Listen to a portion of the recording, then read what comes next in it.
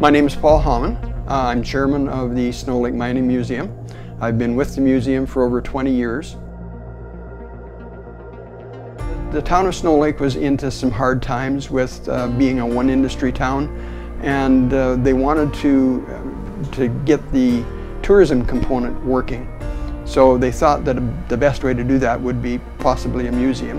And since there were no mining museums in Manitoba, uh, and of course we had all the equipment and, and, expertise here on site, we decided it would be a mining museum. So in 1993 they bought this building which was an old bus garage and uh, they started collecting equipment from the company, from HBM&S.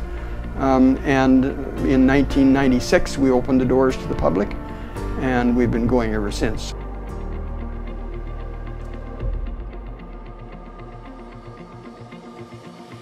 So we made a room, uh, actually increased the size of it before we were done. And then we put the word out to everybody that had worked in the mines uh, that we would like their, their little rock collections, stuff that they had gathered the pretty rocks over the years.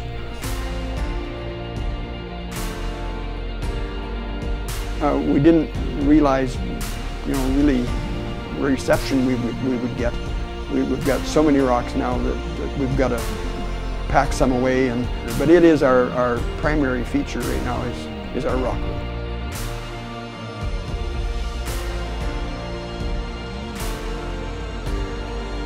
By definition, mining isn't open and above ground and you can't see what's happening.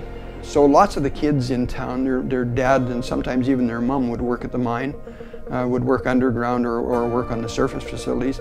And the kids really wouldn't know what they did. They didn't have a clue what they did, really. So what we did was we, we provided that little link where we could show the family what dad did for a living and, and how he made his living, the conditions he worked under, uh, and, and the, the, the, the, language he used. Um, it's got its own vernacular. Um, things have different names that you wouldn't normally think about.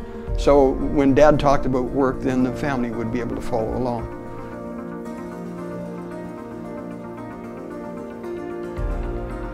Snow Lake has a lot to offer someone that would come in here. Um, for both residents and visitors alike, uh, Snow Lake took its name from a little lake that it sits right on the shore of.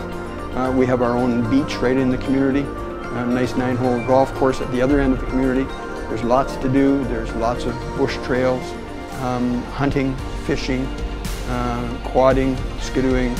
Um, all seasons are covered and, and it's, uh, it's a very nice place to, to live and to visit.